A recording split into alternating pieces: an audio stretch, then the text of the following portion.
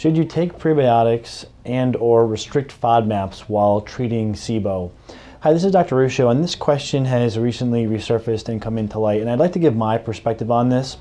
Um, there has one, there has been one published study that has looked at uh, co-administering prebiotics compared to co-administering probiotics while treating SIBO with antibiotics. And what's actually been found to be the most effective is the uh, co-administering a probiotic uh, with antibiotics in the treatment of SIBO. That's been found to be more effective than co-administration of prebiotics. So what this means is if you're treating SIBO and trying to have the best treatment results, it appears that taking probiotics while treating the SIBO is going to be more effective than taking prebiotics, and we could uh, speculate more effective than incorporating FODMAPs into your diet. And this is the, the item I think people are the most confused and concerned about. Should they or should they not eat FODMAPs while treating SIBO?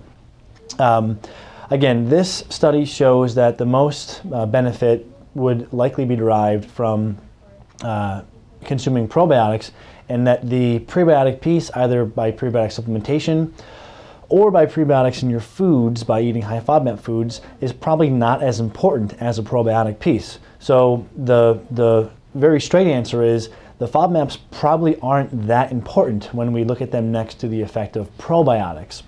Um, now, there are many studies that reinforce this position.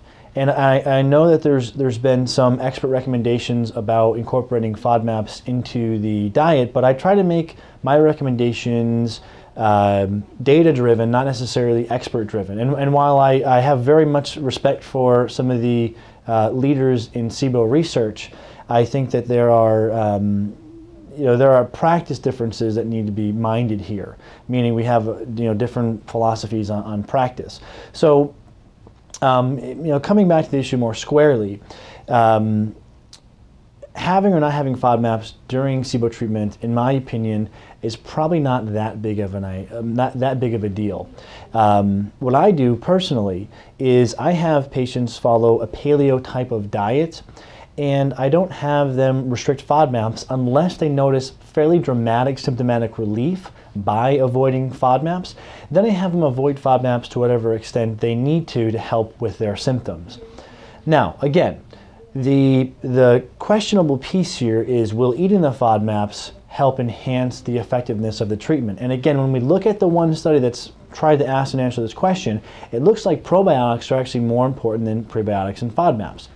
Now, when we also look at, and coming back to my earlier point about the other studies that reinforce this, we see quite uh, compelling data for use the use of probiotics in treating the symptoms of IBS, which have a, a, very much overlap with SIBO, and, and much of IBS may be caused by SIBO.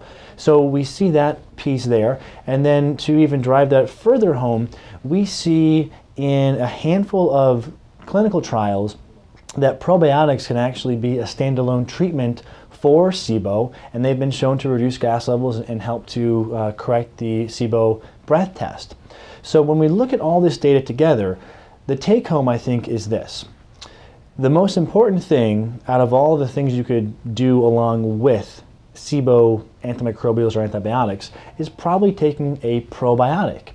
The, the FODMAP and the prebiotic piece is interesting, and it's one of these cool theories that we sometimes get super excited about, but it's important to use science to help us determine if a theory is something that we should actually uh, follow, or if the theory is just something exciting and cool and maybe a little bit off the mark, or maybe there's a better uh, form or treatment. So in this case, the theory of should you eat lots of FODMAPs or take prebiotics while treating SIBO uh, I don't think that's fully uh, been supported, and I think the better evidence suggests that you'd be better off using a probiotic during SIBO treatment. If at some point that changes, I'll be the first to uh, conform with that recommendation, but I think a very practical approach, which would be to have someone eat a healthy diet during SIBO treatment and only restricting FODMAPs to the point to which they need to for symptomatic improvement, uh, would be advisable. And so for most of my patients are able to eat FODMAPs during treatment without any problem. Some patients have a slight restriction based upon what they've noticed uh, they don't tolerate and it's it's really I think as, as simple as that so hopefully this helps and um, I will put one reference in these notes and we will be doing either a follow-up article or podcast with all the other supporting references. I apologize for not having them in this video, but I just wanted to get this video out there to get this concept out there to people. And again, we'll follow up with a more robust scientific support for this argument shortly. Okay, this is Dr. Ruscio. Hope this helps. Thanks.